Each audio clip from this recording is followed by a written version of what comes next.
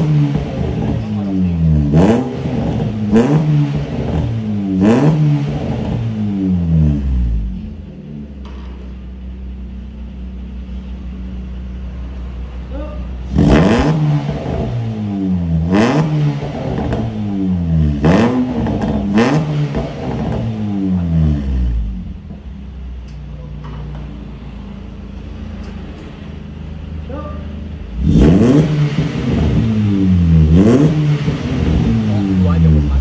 Coba